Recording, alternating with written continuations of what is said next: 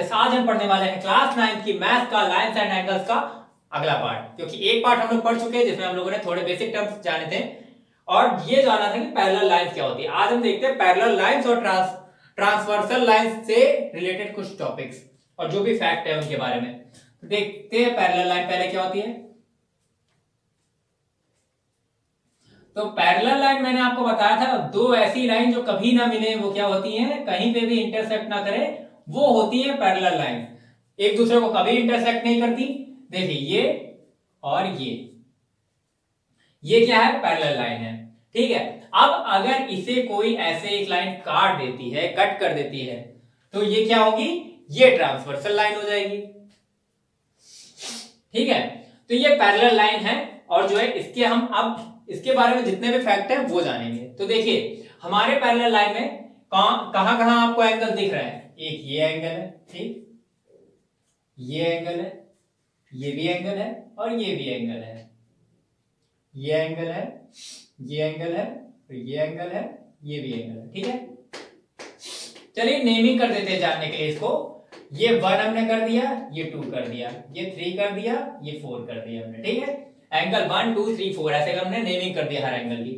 ये हमने फाइव कर दिया, ये सिक्स कर दिया, ये सेवन कर दिया ये एट हो गया। ठीक है?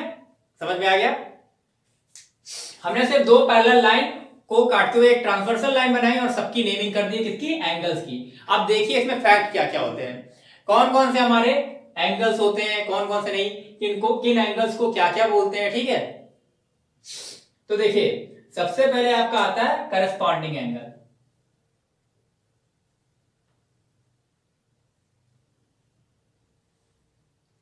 करस्पॉन्डिंग एंगल कौन से होते हैं?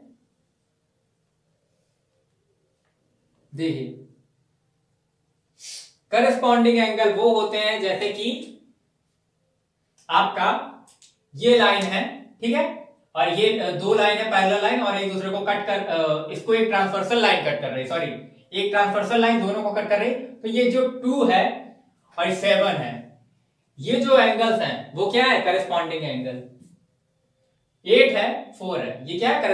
एंगल ठीक है? करस्पॉन्डिंग एंगल सॉरी ये थ्री किसके लिए करस्पॉन्डिंग है? थ्री और सिक्स का पेयर पेयर होते हैं हमेशा एंगल की. कौन कौन से करस्पॉन्डिंग है? पेयर होते हैं, देखिए. यहाँ पे आपका टू कॉमा सेवन जो एंगल है, वो करस्पॉन्डिंग होगा. ठीक है? फोर कॉमा एट वो आपका करस्पॉन्डिंग होगा. ठीक है? फिर उसके बाद, इसी तरह से, अगर नीचे की तरफ़ देखेंगे तो थ्री और six three comma six corresponding होगा, ठीक है? और उसके बाद five comma one five comma one ठीक है? ये भी आपका क्या होगा? करस्पॉन्डिंग एंगल में आएगा, ठीक है? ये समझ में आ गया? टू कॉमा सेवन लिखो या टू सेवन कॉमा टू दोनों ही। अब देखिए, होता क्या है कि इसमें फैक्ट ये है कि ये सारे आपस में बराबर होते हैं। मतलब टू सेवन बराबर होगा, फोर एट भी बराबर होगा, थ्री सिक्स भी बराबर होगा, और फाइव वन भी बराबर होगा। ठीक है? ये सारे आपस में नहीं बराबर होते मतलब जो इसकी वैल्यू होगी, वही थ्री की वैल्यू होगी। फिर से समझ लीजिए, ये कॉमन है लगा के आप क्या करेंगे? इक्वल भी लगा सकते हैं। तो इनके बीच इक्वल लगाएँगे तो करस्पॉन्डिंग एंगल क्या होते हैं? बराबर होते हैं। सारे एंगल नहीं बराबर होते, ये दोनों आपस में बराबर होंगे, ज़रूरी नहीं कि ये ये बराबर हो। ठीक है? एक बात समझ लीजिए कि ज़रूरी नहीं कि ये दोनों भी ये चारों बराबर हो। ये टू सेवन के बराबर होगा करस्पॉन्डिंग एंगल में, ये फिक्स है। फोर एट के बराबर होगा, ये फिक्स है। मतलब फोर की पोजीशन जहाँ पे है, वो जो एंगल होगा, यहाँ पे हमने नेमिंग की है, ठीक है? तो समझ में आ रहा होगा करस्पॉन्डिंग एंगल कौन से होते हैं? ठीक? तो इसमें हमें पता चल गया क्या? कि जो है एंगल टू इक्वल हो जाएगा फोर के सॉरी टू इक्वल हो जाएगा सेवन के ठीक है? टू इक्वल होगा सेवन के, फोर इक्वल होगा आपका एट के, ठीक है? वन इक्वल होगा फाइव के और थ्री इक्वल होगा सिक्स के। इतना समझ में आ गया होगा? ये आपके क्या है?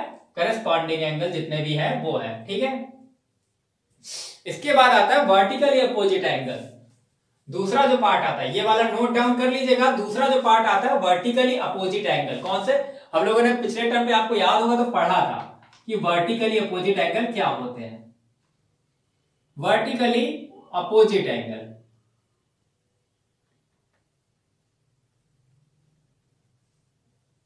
ठीक है? वर्टिकली अपोजिट एंगल इसमें कौन कौन से होंगे, देखिए। देखिए, ये एंगल हो गया फोर और फाइव पहला पेयर कौन सा हो गया? Four comma five. Vertically opposite है। ठीक है? Six comma two six comma two okay और फिर उसके बाद आपका थ्री और सेवन वन और एट का पेयर है। Three comma seven vertically opposite है और वन कॉमा एट भी वर्टिकली अपोजिट है। तो वर्टिकली अपोजिट एंगल जो जो होंगे, वो क्या होंगे? इक्वल होंगे।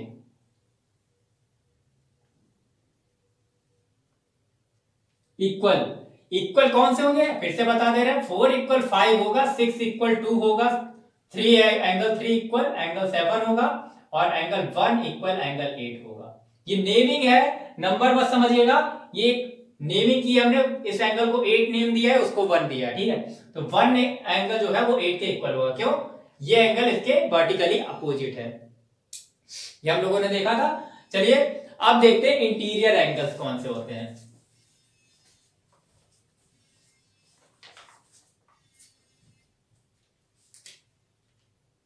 देखिए इंटीरियर एंगल दो तरीके के होते हैं। सॉरी इंटीरियर एंगल होते हैं। ये देखिए alternate interior angle alternate interior angles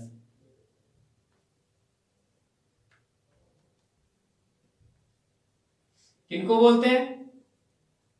जब दो पैरेलल लाइन है अल्टरनेट इंटीरियर एंगल्स कौन कौन से होंगे? देखो, ये भी पेयर में रहेंगे, दो एंगल ही होंगे पेयर में। अल्टरनेट इंटीरियर एंगल इसके लिए ये वाला होगा। ठीक है? मतलब ये four equal to one angle four equal angle one ये एक पेयर हो गया, ठीक है? Angle two equal to angle three angle two equal to angle three ठीक है? ये हो गया। तो ये क्या है? टू कॉमा थ्री का एक पेयर है, जो कि बराबर है, और फोर कॉमा वन का एक पेयर है, जो कि बराबर है, ठीक है? अब देखिए alternate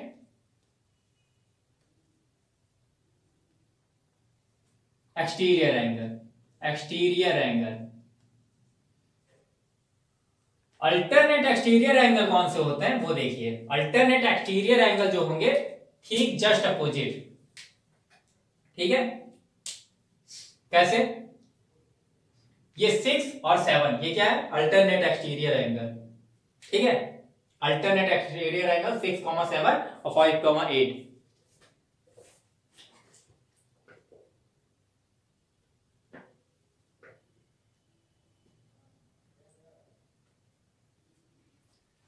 हाँ तो देखिए अल्टरनेट एक्सटीरियर एंगल में ये इंटीरियर वाले थे एक्सटीरियर में क्या होगा? ये वाला इसके साथ और ये वाला इसके साथ। मतलब एंगल फाइव जो होगा, वो एंगल एट के इक्वल होगा हमेशा। हमेशा होगा, ये फैक्ट है। आपको कहीं भी एंगल निकालना तो इसी से निकालेंगे। अगर पैरेलल लाइंस गिवन है। ठीक है? उसके बाद एंगल सेवन जो होगा, वो हो जाएगा एंगल सिक्स के इक्वल ये दो पेयर हो गए। किसके? अल्टरनेट इंटीरियर और अल्टरनेट एक्सटीरियर एंगल के।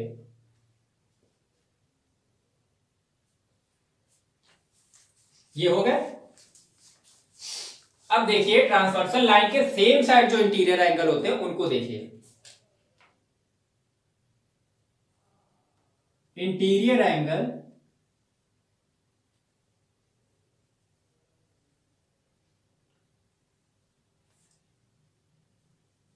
same side of transversal transversal line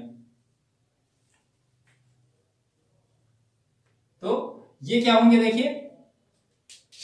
same side का मतलब ये पेयर और ये पेयर वन कॉमा टू का और थ्री कॉमा फोर का। ये पेयर होता है वन कॉमा टू और थ्री कॉमा फोर मतलब एंगल थ्री और एंगल फोर का पेयर तो इनमें रिलेशन क्या होता है? सब तो बराबर होते थे, ठीक है? लेकिन इसमें क्या होगा?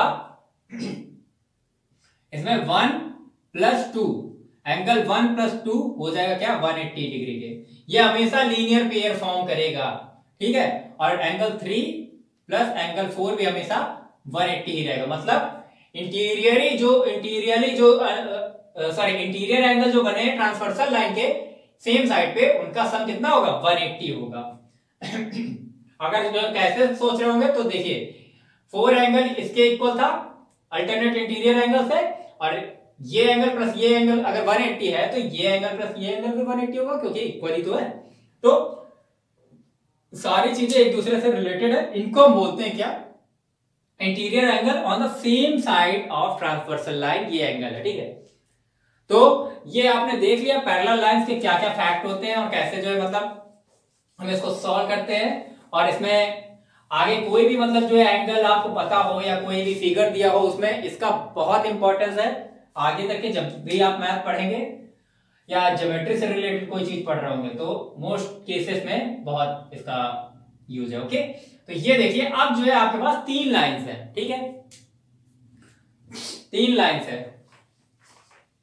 तीन लाइन में देखिए, ध्यान से देखिएगा, हमने क्या कहा था? अल्टरनेट इंटीरियर एंगल बराबर होंगे तो मतलब ये एंगल बराबर होगा इसके, और ये एंगल बराबर होगा किसके?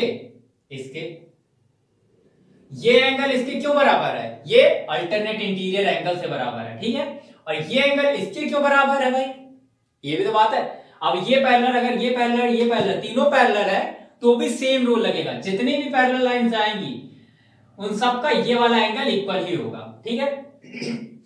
ये एंगल देखिए, एक पर्टिकुलर एंगल को देखेंगे तो कहाँ कहाँ वो बराबर हो सकता है। ये एंगल अगर एक एंगल मान लीजिए ये कुछ दिया है सिक्सटी डिग्री ठीक है? हम लोग लेट कर लेते तो ये सिक्सटी डिग्री होगा कैसे? क्रॉस कर रहे हैं दो लाइंस इतना देखिए पोर्सन क्रॉस कर रही है। तो ये वर्टिकली अपोजिट एंगल ठीक है? ये सिक्सटी डिग्री क्यों? अल्टरनेट इंटीरियर एंगल ये सिक्सटी डिग्री क्यों? ये इसका जो है क्या? इससे कोई लेना देना नहीं है अब ये एंगल इसका क्या है? करेस्पॉन्डिंग एंगल है, ठीक है? तो ये भी 60 डिग्री हो जाएगा। अब ये एंगल कितना है? ये एंगल भी भाई 60 डिग्री होगा क्यों? ये तो इसके लिए वर्टिकली अपोजिट हुआ। ये भी 60 आ गया, ठीक है? एक एंगल मुझे पता था कौन सा? ये वाला। और देखिए सारे एंगल कैसे निकलेंगे। अब जो बात ये है, ये आ गया तो ये भी तो आ जाएगा। ये भी तो करस्पॉन्डिंग एंगल है सिक्सटी डिग्री सिक्सटी डिग्री ठीक है? तो ये सिक्सटी डिग्री आ गया आपका। देखिए कितने एंगल एक एंगल से आपके छह एंगल पता चल गए यहाँ पे, ठीक है? और अगर दो लाइंस होती तो चार एंगल पता चलते। तो यहाँ पे आपको छह एंगल पता चल गया। अब जो है, अगर बाकी का एंगल आपको मालूम है, मान लीजिए आपको अब ये एंगल पता करना है। कैसे पता करेंगे? आपको पता है इस पॉइंट पे लीनियर पेयर फॉर्म होता है। क्यों? क्योंकि ये एक लाइन है और उसके ऊपर एक स्टैंड करके दूसरी लाइन गई है। तो ये एंगल प्लस ये एंगल कितना? 180 फॉर्म नहीं करेगा। लीनियर पेयर फॉर्म कर रहा है। और ये भी ना समझ में आया तो ये वाला तो है। ये कौन से हैं? इंटीरियर एंगल है। Sum of interior angle same side on transversal line transversal line same side जो इंटीरियर एंगल है उनका सम क्या होगा? 180 होगा। अब इसका प्लस इसका सम क्या होगा? 180 होना चाहिए। तो इस हिसाब से ये 60 है तो ये 120 हो जाएगा। अब सेम सेम चीज़, ये भी 120 होगा। क्यों? वर्टिकली अपोजिट है, ठीक है? ये भी 120 होगा। क्यों? करस्पॉन्डिंग एंगल है, इसके बेसिस पे। तो ये भी 120 होगा भाई करस्पॉन्डिंग एंगल इसके बेसिस पे। और ये भी 120 होगा। ठीक है? अब देखिए, सारे एंगल पता चले और ये भी वर्टिकली अपोजिट की वजह से 120 हो जाएगा। तो देखिए, एक एंगल पता चला, आपको सारे एंगल पता चल गए। यही है क्या? लाइंस का कॉन्सेप्ट ठीक है? अब जो है, आप एक पॉइंट पे सम करके देखेंगे तो कंप्लीट एंगल कितना आएगा? 360 आएगा। 12 12 240 और 240 120 360 तो जो है कंप्लीट एंगल कितना आ गया? 360 360 और 360 तो इस तरह से हमारे कुछ क्वेश्चन कुछ क्वेश्चन होने वाले हैं क्वेश्चन होने वाले जो भी हुए, ठीक है? तो ये आई होप कि आपको समझ में आएगा पैरेलल लाइंस और ट्रांसवर्सल लाइंस कैसे मतलब फॉर्म करते हैं और क्या होता है इनका कॉन्सेप्ट तो वीडियो अच्छी लगी हो और समझ में आई हो तो हमारी वीडियो को लाइक करिए, हमारे चैनल को सब्सक्राइब करिए। मिलते हैं नेक्स्ट वीडियो में किसी नए टॉपिक के साथ। तब तक के लिए पढ़ते रहिए और थैंक्स फॉर वॉचिंग